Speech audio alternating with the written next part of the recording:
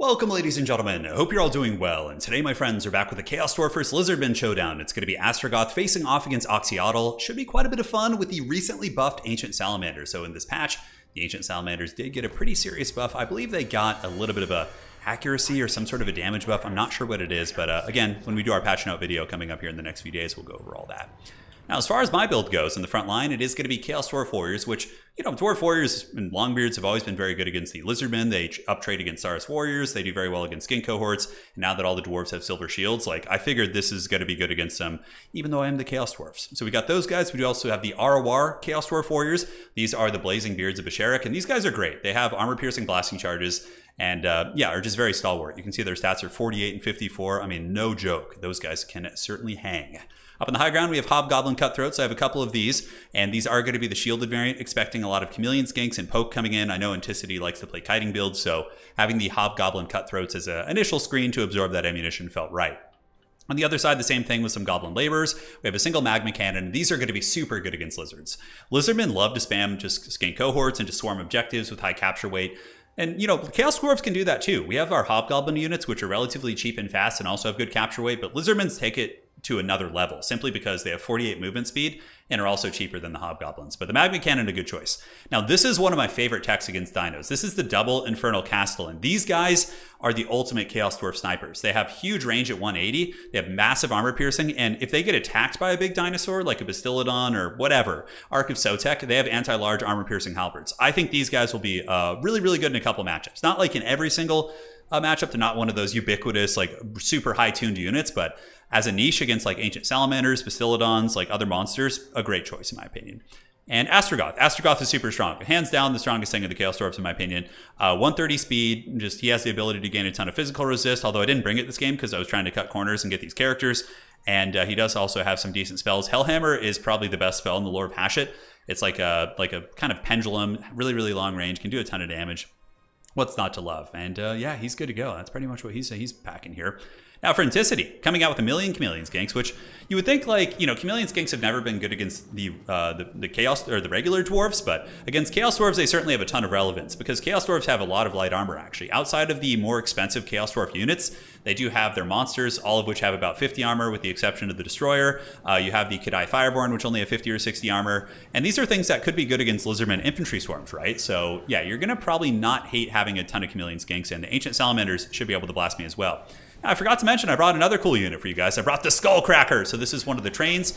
It is a lawnmower, and it does have perfect vigor as well. So over the course of a long battle, it can certainly run over a lot of infantry. So we'll be kind of keeping tabs on that as we do progress. Now, the Infernal Castellans up here in the high ground, they're able to kind of shoot through this hill. Sometimes line of sight is strange in this game, but you can see how they're doing good damage against the Ancient Salamander here. Ancient Salamander, though, has put some big hurt on my Hobgoblins. And uh, yeah, I, I, gotta look at what the buffs were to that thing, but I'll make sure to leave it in the comments. But yeah, fat damage right there, routing off my poor Hobgoblins. Up in the high ground, we do use our uh, lawnmower, the Skullcracker, and I use the more power, infinite power. Gives acceleration, mass, and speed, which is very good for escaping. And we are able to do some okay damage and also absorb all the uh, shots from those uh, javelins there. And now the Hobgoblins will move in. Hobgoblins typically will outtrade Skink Cohorts in straight fighting, but Saurus Warriors could probably still give them some big trouble. Over here, Astragoth just being annoying, very, very quick. He's able to chase down this Ancient Salamander, and he's a really, really good fighter. He's got insanely good stats, 60, 50. He's poisoned right now, so it's going to be mitigated a little bit, but Oxyotl is also a good counter against him to an extent. Oxyotl has great armor piercing, he's mobile, can uh, definitely give the business to Astragoth if I'm not careful. He's one of those characters that is just unassuming. You often ignore him, and he just, uh, you know, ends up catching up with you later in the game here. So the Blazing Beards of Basharak are here, and we do also see the Chaos Dwarf Warriors grabbing the middle objective. Side objective going to be controlled by Anticity here, as he's got an unholy legion of Chameleon Skinks just poking. But I'm happy to absorb the am ammunition on the Infernal Castellans. They have 120 armor, so they really don't care. And they're working down this Ancient Salamander over the course of a game, which normally Chaos Dwarfs don't have like traditional ca cannons that are good against large targets. They do have the Death Shriek rocket, which has an anti-large profile, but in my experience, it's um, it's very, very mediocre. So Hobgoblin Sneaky Gits getting run over by the Feral Cold Ones. Very, very nice usage there as the old Skullcracker is going to be pulling back. And now we got the big boys coming in. The Infernal Ironsworn going to be throwing their unholy hand grenades here. And it does some big damage, able to melt those Saurus Warriors. If you want to get blasting charges on Chaos Dwarves, the cheapest you can get one for is 900. Unlike, you know, the basic dwarves, for example, you can get them on, uh, you know, for like a miner on like, what, 400 something. So a little bit of an advantage that the old Dawi have. Now, Hammer of Wrath going down and it does a ton of damage. That was overcasted though. That cost 22 winds of magic and it just nailed all those Chameleon Skinks. I was in chat with Anticity during this game. When that happened, we were both like, oh my god, that did a lot more damage than we both expected. But the Blazing Beards being absolute chads in the middle, Chaos Dwarf Infantry, very, very resilient, even fighting something that's a counter. And we do see Astragoth getting some flying jump attacks here, which is pretty great, and he is able to force a lot of those dudes back. Battle Rage is on in the middle, but a lot of Lizardman capture weight has prevented me from capping. I am ahead on damage value, and the old Magma Cannon here still trying to shoot at all these Chameleon Skinks, although their loose formation is making it a little bit tricky to grab them. Up on the high ground, capture weight is in my favor. Hobgoblin's going to be backed up by the Infernal Ironsworn, and the old Skullcracker able to chase off some of those uh, Lizardmen units, but is going to be coming back in to try and run down these skink cohorts. As far as value so far, uh, it's done okay, well, a couple hundred, but the game is very early, and it spent a lot of the time kind of running and trying to get away from things, so... But eventually the Infernal Ironsworn, which are basically Iron Breakers, they're super jack. 64 melee defense is really serious. Uh, they're going to be able to win this. And the uh, the old uh, the old beast gets in there. It's a nice little lawnmower effect. It's pretty cool how the Chaos Dwarf trains actually have like train sound effects. I don't know if it played for you guys right there. I usually record with my sound off, but um, where I can't hear it, it's distracting me a little bit. But even still, fun stuff. Hobgoblins performing very well. High ground objective could be going for us. Lizardmen doing very, very well in the points though. I uh, haven't been able to wrestle a point from them so far. Sending in some Goblin Labors and the Magma Cannon with the Steel Chair here. It does have a damage over time effect, so it hits, and then a little Vortex is summoned where it does work. And the Hammer of Hashut coming down, baby! Going to be dropping a fat one here on the Saurus Warriors and doing a ton of damage. I think that's probably the best spell in the lore of Hashut. In, in my experience, it's just been super cost effective. So one Ancient Salamander does get broken and probably forced off the battlefield. The two Castellans here have been performing quite well. And now they've got their long rifles out, and they're going to be trying to snipe your boy Oxyotl, although they're having some weird line of sight issues. Like, they keep saying obstructed when I'm trying to pop them, which is very unfortunate. But now they're going to be shooting over at the Ark of Sotek, but the Ark of Sotek is able to force me off the middle here. And despite being ahead on value, I felt as if I wasn't truly ahead on value. Lizardmen do have healing, but he didn't bring any. So the value is what it is. You're, you're seeing it in its uh, truest form here. As the old uh, Skullcracker continues to run these units over, the Infernal iron Ironsworn just crumping pretty much everything they fight. Granted, taking big armor-piercing damage from the Clever Girls. More Saurus on the way in, and really, really good usage of the Ancient Salamander. You know, my Infernal boys can't be everywhere at once, so chasing down these this other salamander across the map is, is quite problematic. And with the recent buffs it got, I wonder how much damage it's done. Let's go and check here.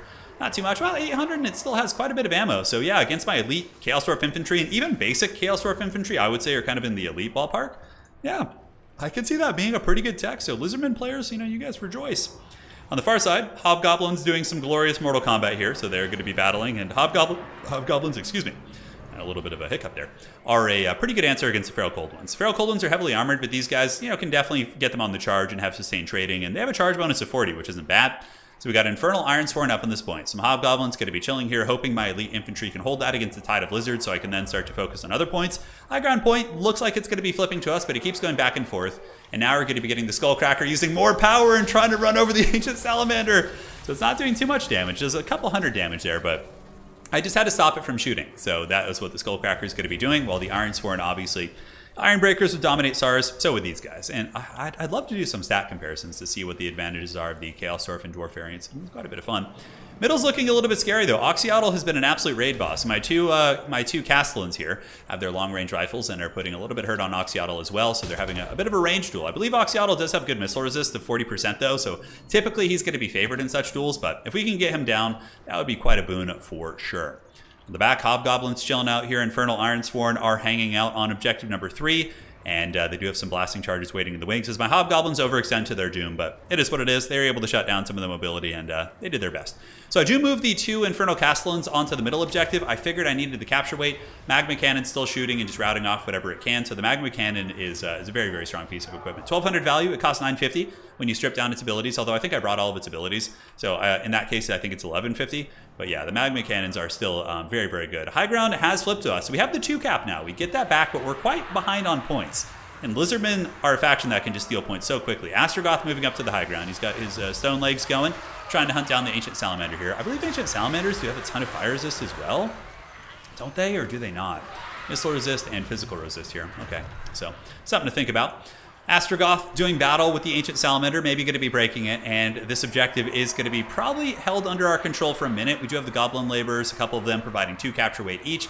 Granted, these Chameleon Skinks and Skink cohorts forming in, this is where Lizardmen really shine their ability to just roll up on points with hordes hordes of lizard people and just take those. It's very strong. So we do summon out the anti-large bull renders. I had them in reserve. I, you know, I saw the Bastiladon, I saw the Salamander, so in my brain I was like, I need some anti-large. But in reality, I started to realize I'm like, oh, I should have brought the infantry variant because they have good armor piercing even on the infantry variant. It probably would be enough. Skullcracker going to be coming down, running over the cohort of Sotek.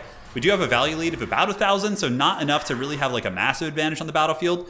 And the Ironsworn are just kind of being zerged by uh, spams of Clever Girls and cohorts, and Oxyotl obviously doing quite good with these guys and their, uh, their, their smoldering helmets. So incredibly cool as they hold on here. In the backfield, these guys going to be getting nailed by a Wind Blast. So the Hobgoblin Sneaky Gits with their precursor ammo coming in to try and help, just kind of parking them on the edge of the objective while the Infernal Ironsworn fight valiantly to try and hold on there. My two Castellans, they were able to trade okay with Oxyotl, but he has been getting the last cackle here as he's been winning most of these fights. And the cohort of Sotek is getting smashed. And, you know, Bull Centaurs still do a lot of damage against infantry, even if they are the anti-large variant. They just have a good charge bonus, just high base weapon strength, good combat stats generally speaking, but they have a bonus for its large of 25.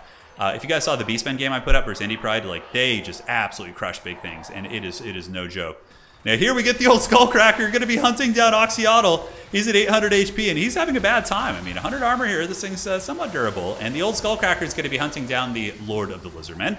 And if we could take him down, get that leadership penalty on the enemy army, that would be a huge one for the old Chaos Dwarves. As you can see, Oxyotl is terrified, running for the hills. While the Skullcracker yells more power, unlimited power, more, more, more. Oxyotl, though, is going to get some love from the uh, Feral Cold One, so they're going to be on their way in. We do also see another Ancient Salamander coming out, so in its first life, it didn't get that much value.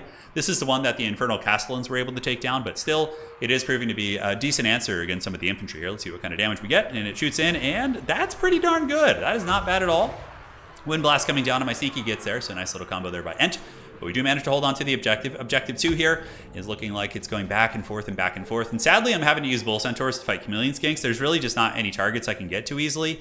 If I go after the Ancient Salamander, he just hides them amongst his Chameleons and his Skink cohorts and things like that. So I'm just like committing them to fight, trying to get the objective. And I believe Astragoth did get killed or routed. Yeah, he got pushed to the back of the map here. So he got very low just fighting on the high ground objective. So now we bring in the K'daai Fireborn. These units are pretty good. I don't know about against Lizardmen. I feel like the Chameleon Skinks might be nice, but they're like what's they're so much better than Kroxigors. They do cost 1500, so they cost four or 500 more than Kroxigors, but they have good generalist stats and uh, they pack a serious punch with high speed. So you can definitely move them up against infantry swarms, and I do think there's going to be a couple matchups in which the K'daai Fireborn will actually be good, which is very encouraging. And that's what I love about Chaos Dwarves. They have such diverse playstyles. They're not really pigeonholed into playing any particular way. You can play artillery, you can play horde mode, you can play elite, you can do a combination of any of those things. Like it's such a such a rich playstyle. And I know there will be a meta that will develop, but I think you'll be able to perpetually surprise people with strange Chaos Dwarf builds, which is, I think, a sign of a really well-made faction. Objective three, going to be flipped. Lizardman going to take that one back, and the points game is getting a little bit scary for us as he keeps maneuvering, and he has equalized the value as well, and he's just using these these legions of cheap units to grab my points. Although K'daai Fireborn going to have something to say to the managers of these skink cohorts as they are just going to absolutely cook them, and these are some cooler looking units. Look at them just absolutely cleaving through these bad boys. Lizardmen flying in every which direction as the uh, Hobgoblin Riders being pulled in. Probably something I should have brought more of. They're pretty good at clearing out chaff units with, uh, you know, if you put a couple chevrons on them, I feel like they could be filling that role quite well. But K'daai Fireborn, get the job done. I believe K'daai Fireborn do have crazy fire resist, so maybe, although Chameleon Skinks would probably wreck them in numbers. You'd have to be very careful. I could see a build against Lizardmen where you bring the Demon Smiths who have the healing ability so they can heal reforged units. So units that have the Hellforged ability uh, can be healed by the uh, Demon Smiths. But once again, just really struggling on the objective game, guys. And that normally is the case against lizards. I even moved my magma cannon up on the point, which the magma cannon itself is still an anti-infantry chariot. So I figured it could still shoot, you know, if, if, need be, but I need capture weight on the point. So the magma cannon is moved up, doing a little bit of fighting back here. Objective three is owned by the lizards, but I do have some hobgoblins moving in to try and grab that and snake that while uh, unsummons coming down. And that's another big change. The fact that unsummons are um, 10 seconds now as opposed to three is really, really big. I like that quite a bit. Infernal Castellans bumping and grinding here. Oxyotl sitting in the back cackling and however lizards laugh. I don't know. I, I know there's some funny gifs of uh, toads laughing and whatnot. So probably something like that. And Hobgoblins going to bounce out, getting a charge. The vicious, cruel goblins of the old world moving in and doing battle with their, uh, their lizardmen foes here. As we try and get the objective, we can't quite get it. Hobgoblins and Infernal Ironsworn both units have good capture weight. And up on the high ground, looking like we might not have the best chance of getting this back, is the K'daai Fireborn are being poked down by the Chameleon Skinks. So that damage quite uh, quite solid. But they do have 169 kills. That's what she said. About 700 value right now, butchering through the Saurus, and honestly might be able to kill this Ancient Salamander as well. We'll have to see.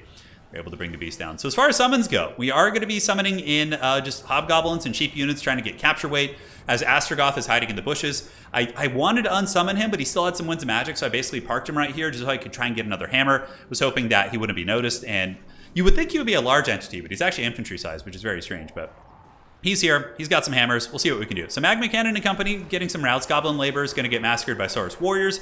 Looking over at objective number three. It's pretty hotly contested, but I think the Lizards might have just barely taken it, although we do have those elite infantry here. We have the Infernal Ironsworn still, and the Hobgoblins and some Wolf Riders, so maybe they will be able to overwhelm that one Clever Girl. So this objective probably will flip back right here, guys. You can see the points. I believe the rates at which points are accrued is a little bit faster now. I don't know if that was a change, but it certainly felt that way, but... Uh, objective three is being taken, and guys, we're starting to get a little bit of momentum on the points. Like all three of the objectives start to flip in our favor here, and um, the, val the value lead is up for the lizards, but the hobgoblins getting on the point. K'daai Fireborn fully cleaned off that top point, 184 kills, very very savage stuff, and we start to get all three points. This one is uh, very very close to flipping for us. The middle objective is very close for flipping as well as we start to push them back, but it was too little, too late. Super fun game. We got to see the Infernal Castellans, Astragoth running around, uh, Chaos Dwarves. We got to see the uh, the chariots they have, the Magma Cannon getting 1700 value, which makes sense against very infantry heavy builds. And uh, also, you get to see the fact that lizards can compete against them pretty well. Granted, we don't know the meta. We don't know what's really good in, uh, from either perspective. So we could eventually learn with a very tuned build that lizardmen have no chance or chaos dwarves have no chance, whatever, right? Like all in due time. But honestly, like most of the matchups I played with Anticity and uh, several other people in early access. It, it, seems as if like there's yeah they, they seem more balanced than other factions that have been at launch, um, with the exception of a couple small things. But we'll figure that out in due time. Salamanders they did okay. They recently got buffed. They were something I had to focus a lot of effort on. Right. Didn't hate that, but the Chameleon Skinks were absolute beasts. Not a ton of value, but super annoying. And uh, I would imagine Oxyotl and the Clever Girls all did very good. Yeah, Oxyotl probably got, yeah, some nice value. Looking at the Castellans, 1200, 1100 certainly paid for themselves. Astragoth is really, really good.